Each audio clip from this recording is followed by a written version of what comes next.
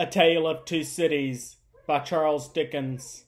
Book um, 3 The Track of a Storm. Chapter 9 The Game Made. When Sidney Carton and the sheep of the prisons were in the adjoining dark room, speaking so low that not a sound was heard, Mr. Lorry looked at Jerry in considerable doubt and mistrust. That honest tradesman's manner of receiving the look did not inspire confidence. He changed the leg on which he rested as often as he had if he had fifty of those limbs, and were trying them all, and examined his fingernails with a very questionable closeness of attention. And whenever Mr. Lorry's eye caught his, he was taken with their, that particular kind of short cough requiring the hollow of the hand before it which is seldom, if ever, known to be a, an infirmity attendant on perfect openness of character. Jerry, said Mr. Lorry, come here. Mr. Cruncher came forward sideways, with one of his shoulders in advance of him. What have you been besides a messenger? After some cogitation accompanied with an instant intent look at his patron, Mr. Cruncher conceived the luminous idea of replying, Agricultural character. My mind misgives me much, said Mr. Lorry, angrily shaking a forefinger at him, that you have used the respectable and great house of Tellson's as a blind and that you have had an unlawful occupation of an infamous description. If you have, don't expect me to befriend you when you get back to England. If you have, don't expect me to keep your secret. Tellson shall not be imposed upon. I hope, sir, pleaded the, um, uh, the abashed Mr. Cruncher, like a gentleman like yourself, thought I'd had the honor of odd jobbing that till I'm gray at it, would think twice about harming of me. Even if it would so, I don't say it is. And even if it was, and those, and which it is to be ta- took into account that if it those, it wouldn't even then but all of one side. There'd be two sides of it. There might be medical doctors at the present hour, a picking up their guineas where the honest tradesmen don't pick up their his fardens. Fardens. No, nor yet his half fardens and car- carriages. Ah, equally like smoke, if not more so that, well, that would be imposing too on Tellson's. For you cannot sauce the goose, sauce the goose, and not the gander. And here's Miss Cruncher, or leastways those in the old England times, and would be tomorrow, if cause given a flopping again the business to that degree as is ruinating, stark ruinating whereas the medical doctors' wives don't flop. Catch them at it. Or if they flop, their toppings goes in favor of more patients. And how can you rightly have one without it, without another? Then what with undertakers, and what with parish clerks, and what with sextons, and what with private watchmen, all uh, Vericus, Vericus, and all of it, all in it. A man wouldn't get much by it, even if it would so. And what little man, little a man did get, would never prosper with him, Mister Lorry. He never had no good of it. He wanted all along to be out of the line if he could see his way out. being once in, even if it would so. Ah, cried Mr. Lorry, rather relenting. Nevertheless, I am shocked at the sight of you. Now, what I would humbly offer to you, sir, pursued Mr. Cruncher, even if it would so, which I don't say it is. Don't prevaricate, said Mr. Lorry. No, I will not, sir, returned Mr. Cruncher, as if nothing were further from his thoughts or practice, which I don't say it is. Thought I would humbly offer to you, sir, would it would be this. Upon that there stool at that there bar sets that there boy of mine, brought up and growed up to be a man. What will errand you, message, message you, general light job you, till your heels is where your head is. If such should be your wishes, if it would so, which I still don't say it is, for I will not prevaricate to you, sir. Let that there boy, the boy, keep his father's place and take care of his mother. Don't blow upon that boy's father. Don't do it, sir. And let that father go into the line of the regular digging and make amends for what he would have undug. If it would so by digging of them in the wall, in the will, and with convictions respecting the future keeping of them sake. That, Mr. Lorry, said Mr. Cruncher, wiping his forehead with his arm, as an announcement that he had arrived at the peroration of his discourse. If thought is thought, I would respectfully offer to you, sir. A man don't see all this here going on dreadful round him. In the way of subjects without heads, dear me, plentiful enough fur to bring the price down to porterage and hardly that, without having his serious thoughts of things. And these here would be mine, if it would so, it, entreating of you for to bear in mind that would I said just now. I up and said in the good cause I when I might have keep it back, kept it back. That at least is true, said Mr. Lorry. Say no more. Now, it may be that I shall yet stand your friend, if you deserve it, and repent your inaction, not in words. I want no more words. Mr. Cruncher knuckled his forehead as Sidney Carton and the spy returned from the dark room. I do, Mr. Barsad, said the former. Our arrangements thus made, you have nothing to fear from me. He sat down in the chair on the hearth, over against Mr. Lorry. When they were alone, Mr. Lorry asked him what he had done. Not much. If it should go ill with the prisoner, I have ensured access to him once. Mr. Lorry's countenance fell. It is all I can do, said Carton. To propose too much would be to put this man's head under the axe.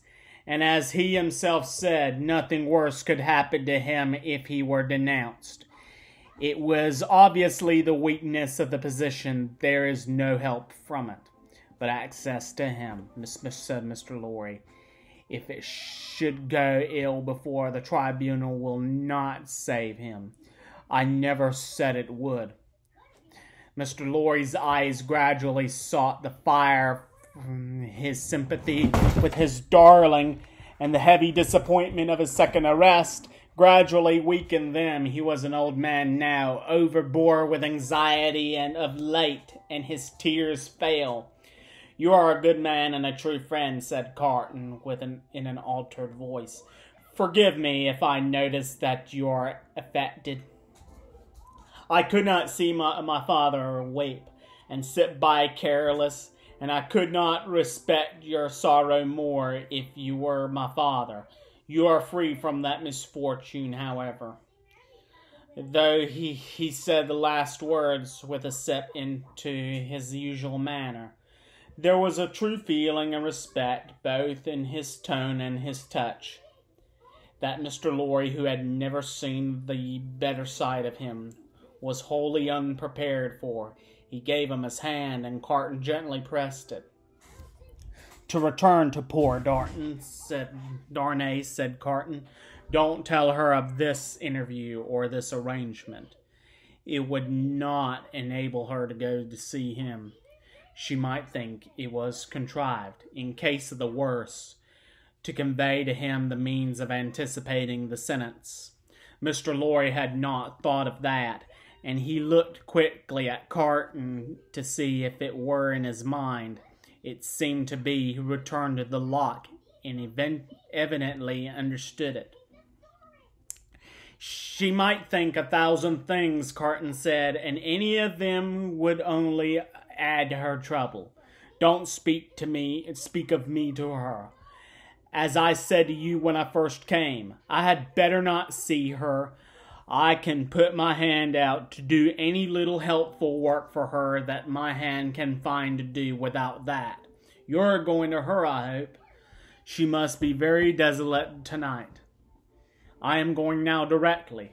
I am glad of that.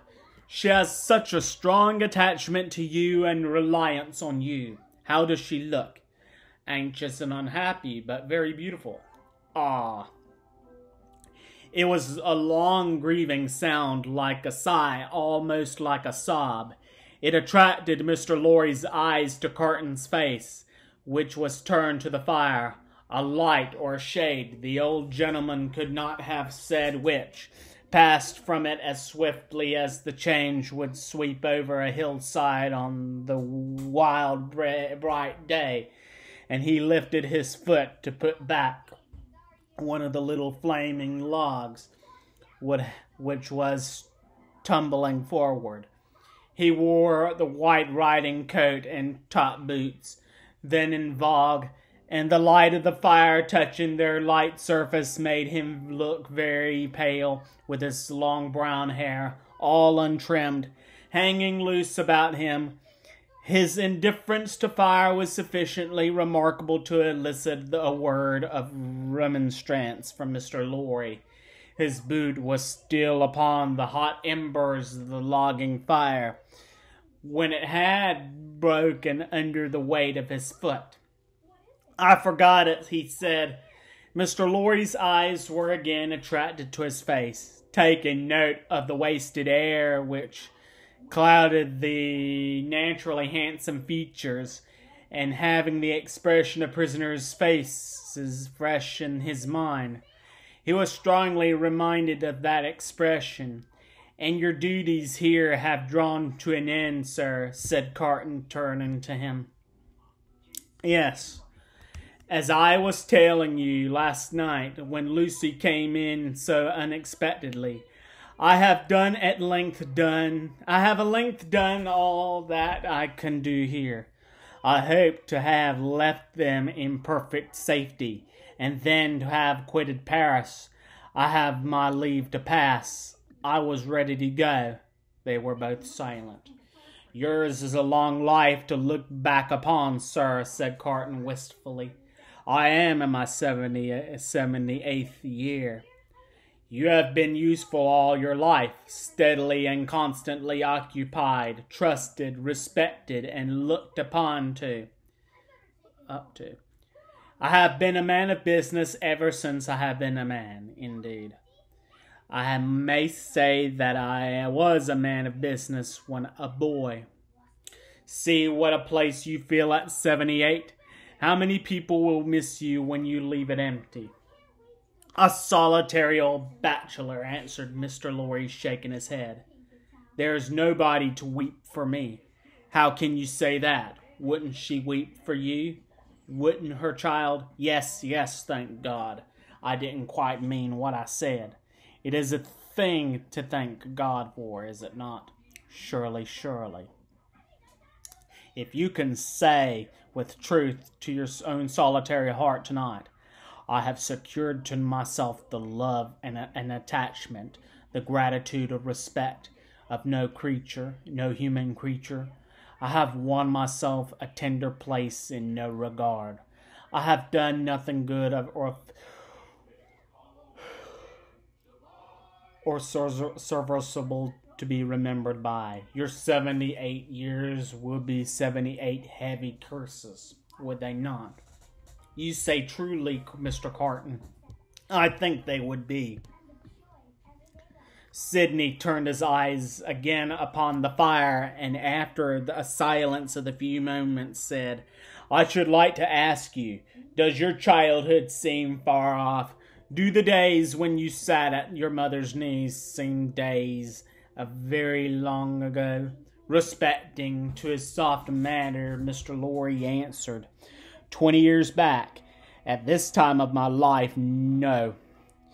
For as I draw closer and closer to the end, I traveled in the circle nearer and nearer to the beginning. It seems to be one of the kind smoothings and preparings of the way. My heart is touched now by many remembrances that had long fallen asleep of my pretty young mother. And I was old and by many associations of the days when what we call the world was not so real with me, and my faults were not confirmed in me. I understand the feeling, exclaimed Carton with a bright flash flush. And you are the better for it. I hope so. Carton terminated the conversation by rising to help him on with his outer coat. But you, said Mr. Lorry, reverting to a theme, you are young. Yes, said Carton, I am not old, but my young way was never the way of age. Enough of me. And of me I am sure, said Mr. Lorry. Are you going out? I'll walk with you to her gate you know my vagabond and restless habits. If I shall prowl along the streets a long time, don't be easy. I shall reappear in the morning. You go to the court tomorrow. Yes, unhappily. I shall be there, but only as one of the crowd. My spy will find a place for me. Take my arm, sir. Mr. Lorry did say, and they went down the stairs and out in the streets. A few minutes brought them to Mr. Lorry's destination. Carton left him there, but lingered at the little distance, and turned back to the gate again when it was shut and touched it. He had heard of her going to the prison every day. She came out here, he said, looking about him, turned his this way, must have trod on these stones often. Let me to follow in her steps. It was ten o'clock at night when he stood before the prison of La Force, where she had stood hundreds of times. A little wood sawyer, having closed his shop, was smoking his pipe at the door, at his shop door, excuse me. Good night, citizens, said Sidney Carton, pausing in going by, for the man eyed him inquisitively. Good night, citizen.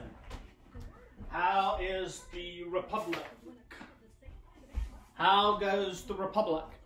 You mean the guillotine? Not ill. 63 today. We shall mount to the hundred soon. Sanson and his men complain sometimes of being exhausted. Ha ha ha.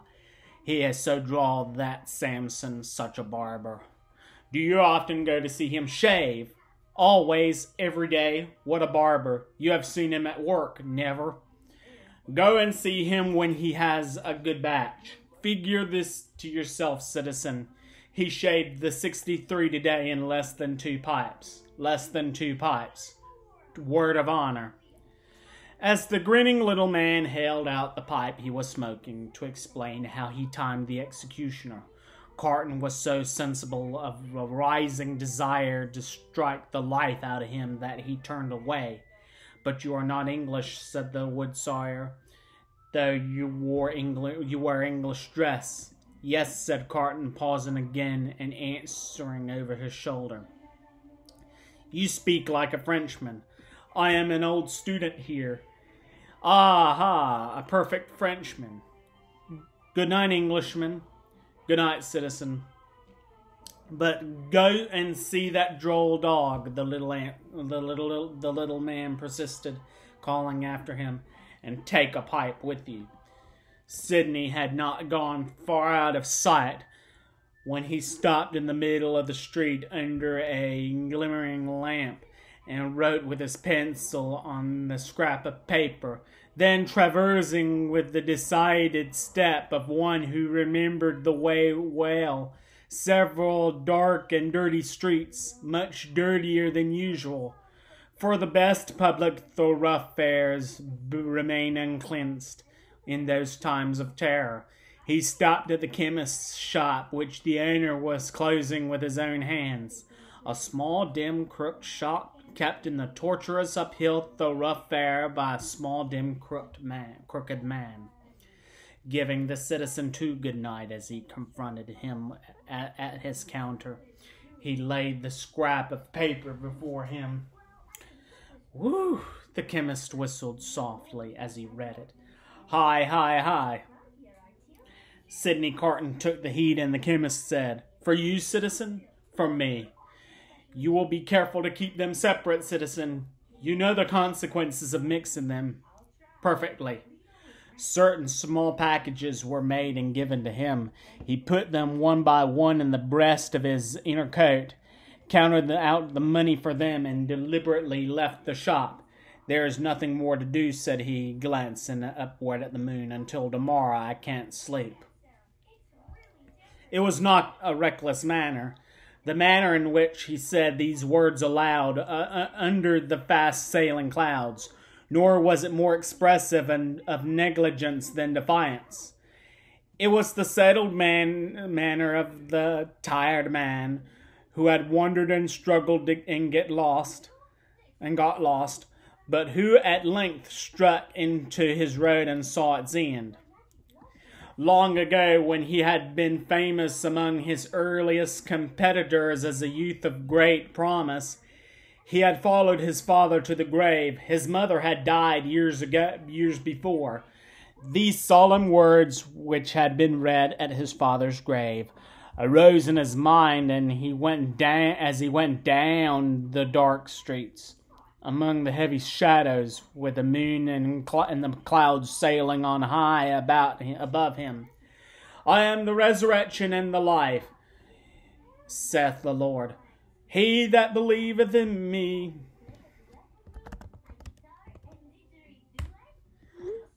And though he were dead, yet shall he live. And whoever say, whosoever liveth and believeth in me shall never die. In the con- in the city dominated by the axe, alone at night, with natural sorrow rising in him for the sixty three who had been that day put to death.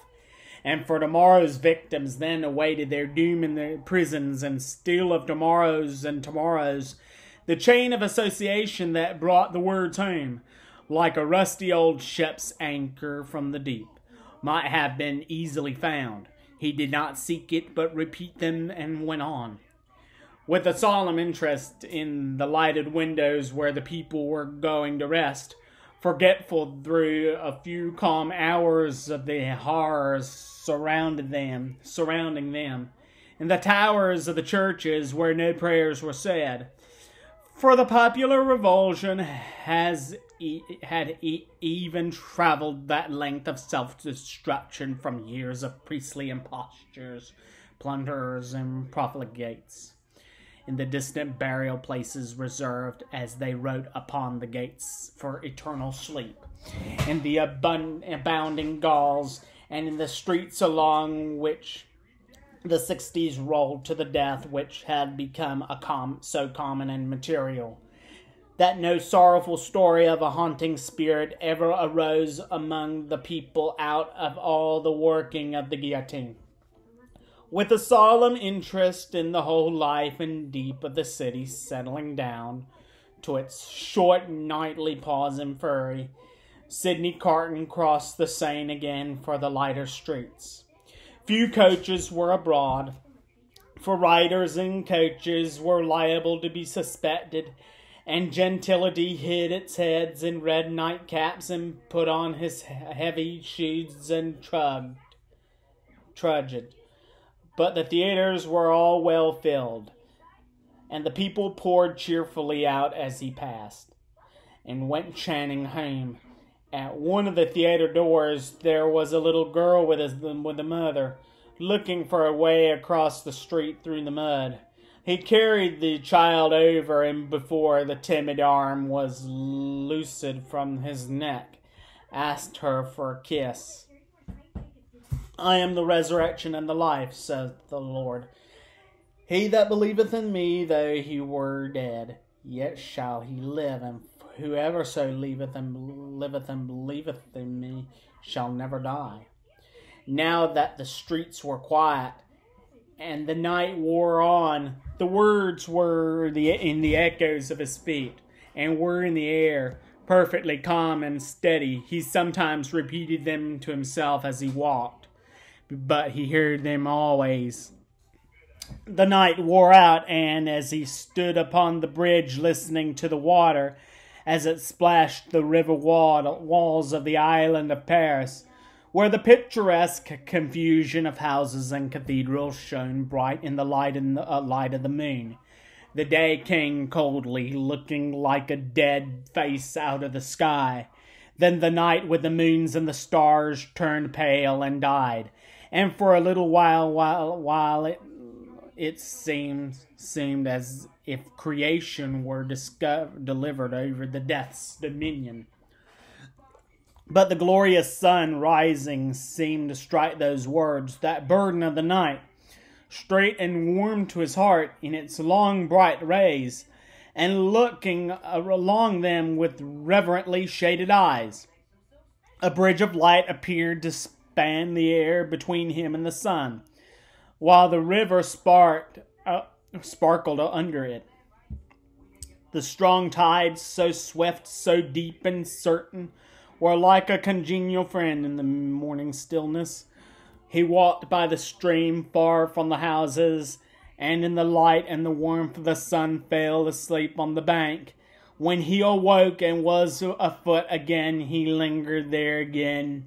He lingered there yet a little longer watching an eddy through that turned and turned purpose purposeless until the stream absorbed it and carried it onto the sea like me. A trading boat with a sail of a softened color of a death, dead leaf that glided into his view, floated by him and died away, and its silent track in the water disappeared, the prayer that had broken up out of his heart for a merciful consideration of all his poor blindnesses and errors, ended in the words, I am the resurrection and the life. Mr. Lorry was already out when he got back, and it was easy to surmise when the good old man was gone. Sidney Carton drank nothing but a little coffee, ate some bread, and having washed and changed to refresh himself, went out to a place of trial. The court was all astir and a buzz when the black sheep whom may fail, many fail from away from in dread, pressed him into an obscure corner among the crowd. Mr. Lorry was there, and Dr. Manette was there. She was there sitting beside her father. When her husband was brought in, she turned and look, a look at him, upon him, so sustaining, so encouraging, so full of admiring love and pitying tenderness, yet so courageous for his sake, that it called the healthy blood into his face, brightened his glance, and animated his heart. If there had been any eyes to notice the influence of her look, on Sidney Carton, it would have been seen to be the same influence exactly. Before that unjust tribunal, there was little or no order of procedure ensuring to any accused person any reasonable hearing. There could have been no such revolution if all laws, forms, and ceremonies had not first been so monstrously abused that the suicidal vengeance of the revolution was to scatter them all to the winds. Every eye was turned to the jury, the same determined patriots and good Republicans as yesterday and the day before, and tomorrow and the day after eager and prominent among them, one man with a craving face and his fingers perpetually hovering about his lips, whose appearance gave great satisfaction to the spectators, a life thirsting, cannibal looking, bloody minded juryman, the Jacques Three of Antoine. The whole jury, as the jury of dogs, empaneled, empaneled to, try the, to try the deer. Every eye then turned to the five judges and the public prosecutor. No favorable leaning to that in that corner today. A fail, uncompromising, murderous business meeting there. Every eye that then sought some other eye in the crowd and gleamed at it approvingly, and heads nodded at one another before bending forward with a strained attention. Charles Evrémonde called Darnay released yesterday, reaccused and retaken yesterday. Indictment delivered delivered to him last night. Suspected and denounced enemy of the Republic, aristocrat, one of the family of tyrants, one of a race proscribed, for that they had used their abolished privileges to the infamous oppression of the people. Charles Evrémonde called Darnay in right of such proscription absolutely dead in law. To this effect, in as few or fewer words, the public prosecutor, the president asked, was the accused openly denounced or secret, secretly? Openly, President. By whom? Three voices. Ernest Defarge, wine vendor of Saint Antoine, good. Therese Defarge, his wife, good. Alexander Manette, physician. A great uproar took place in the court, and in the midst of it, Dr. Manette was seen pale and trembling, standing where he had been seated. President, I indignantly protest to you that this is a forgery, for, forgery and a fraud. You know the accused to be the husband of my daughter. My daughter and those dear to her are far dearer to me than my life. Who and where is the false conspirator who says I, that I denounce the husband of my child? Citizen Manette, be tranquil. To fail in submission to the authority of the tribunal who been who be, would be to put yourself out of law. As to what is dearer to you than life, nothing can be so dear to a good citizen as the republic. Loud acclamations hailed this rebuke. The president rang his bell and with warmth resumed. If the republic should demand of you the sacrifice of your of your child herself, you would have no duty but to sacrifice her. Listen to what is to follow. In the meanwhile, be silent. Frantic acclamations were again raised. Dr. Manette sat down with his eyes looking around and his lips trembling. His daughter drew closer to him. The craving man on the jury rubbed his hands together and restored the usual hand to his mouth. Defarge was produced. When the court was quiet enough to admit of his being heard, and rapidly expounded the story of the imprisonment, and of his having been a mere boy in the doctor's service, and of the release and of the state of the prisoner when released and delivered to him. The short examination followed, for the court was quick with its with its work. You did good service at the taking of the, of the at the Bastille, citizen. I believe so. Here an excited woman screeched from the crowd.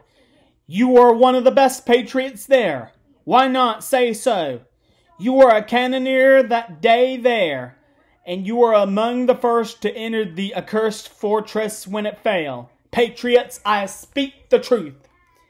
It was the vengeance who, amidst the warm commendations of the audience, thus assisted the proceedings. The president rang his bell, but the vengeance, warming with encouragement, shrieked, I defy that bell! Wherein she was likewise much commended. Inform the tribunal of what you did that day within the Bastille citizen. I knew, said Defarge, looking down at his wife, whom stood at the bottom of the steps on which he was raised, looking steadily up at him. I know that this prisoner of whom I'm, I speak has been confined in the cell known as 105 North Tower. I knew it from himself. He knew himself by no other name than 105 North Tower when he made shoes under my care. As I served my gun that day, I resolved when the place shall fall to examine the sail. It fails. It falls. I mount to the sail with a fellow citizen who is one of the jury directed by the gaoler. I examined it very closely. In the hole of, in the chimney where a stone has been worked out and replaced, I find a written paper that it this is that written paper. I have made it my business to examine some specimens of the writing of Dr. Manette. This is the writing of Dr. Manette. I confide this paper in the writing of Dr. Manette to the hands of the President. Let it be read. In the dead silence and stillness, the prisoner under trial looking lovingly at his wife, his wife only looking from him to look with solitude at her father, Dr. Manette keeping his eyes fixed on the reader, Madame Defarge never taking hers from the prisoner, Defarge never taken his from his feasting wife, and all the other eyes their intent upon the doctor, who, who saw none of them. The paper was read as follows.